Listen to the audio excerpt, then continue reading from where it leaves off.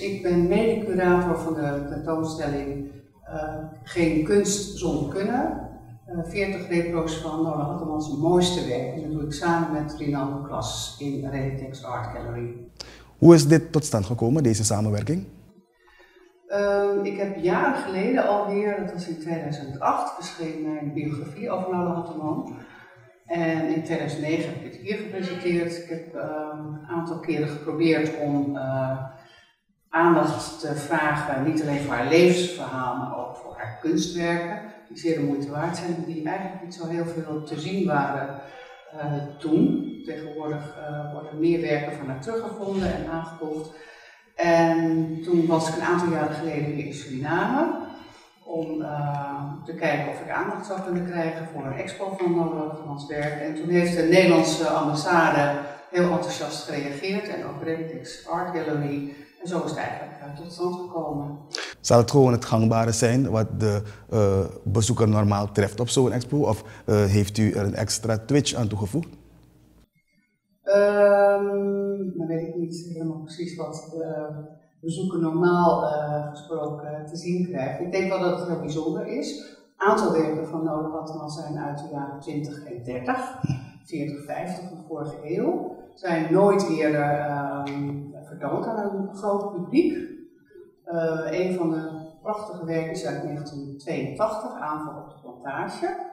En uh, dat is qua thematiek heel bijzonder voor de kunstgeschiedenis van zowel Suriname als Nederland.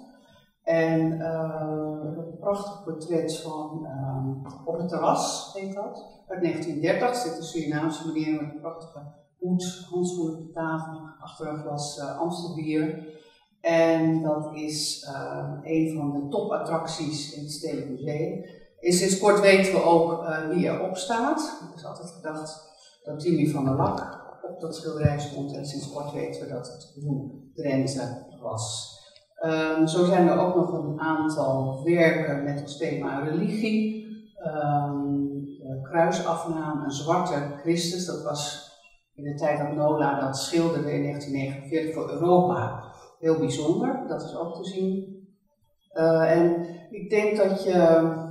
Daarnaast is het interessant dat uh, Nola is natuurlijk in 1953 naar Suriname gegaan.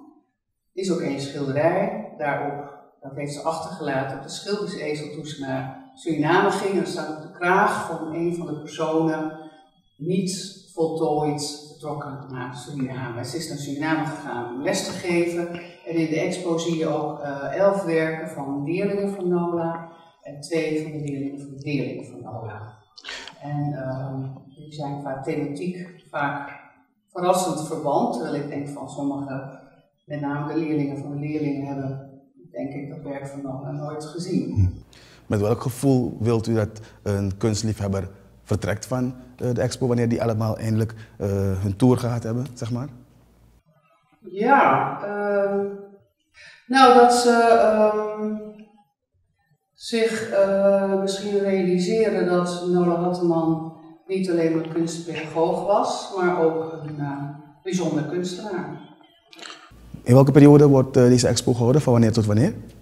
De expo is te zien in de Reditex Art Gallery.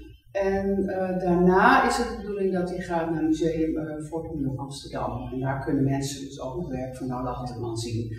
Het gaat om reproducties die één op één zijn afgebeeld. Omdat het moeilijk was om de originele schilderijen naar Suriname te halen. Maar het zijn echt prachtige hele goede reproducties.